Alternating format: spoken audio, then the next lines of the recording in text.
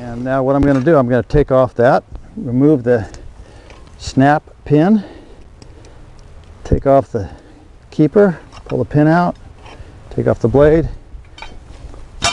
First I'm going to make a furrow. Now this is what you're going to want when you plant potatoes, tomatoes, uh, transplants, um,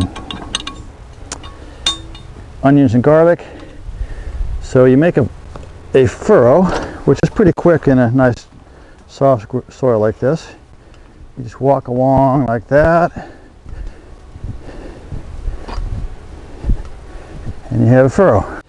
And this hiller, this took us a long time to develop. I had several iterations and trials and failures and just kind of by a quirk we ended up with this stacking three one inch square tubes on top of each other with the parallel holes which uh, works great and we had to get this angle just right and the whole thing is heavily welded. So it's it's it's beefy. I'm gonna put this on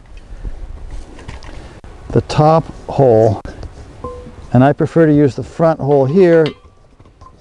You can also you could you could bring it up to here if you wanted to or even like that but I prefer it back here a little further like that. And uh, put the pin in. Snap the pin on like that. Oops.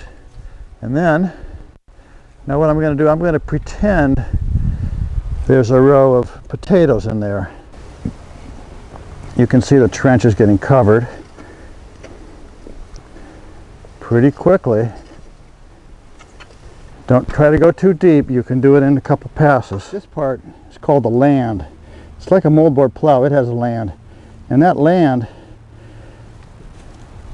allows the wheel hoe to go straight. Even though you got a lot of dirt here, you're pushing this way.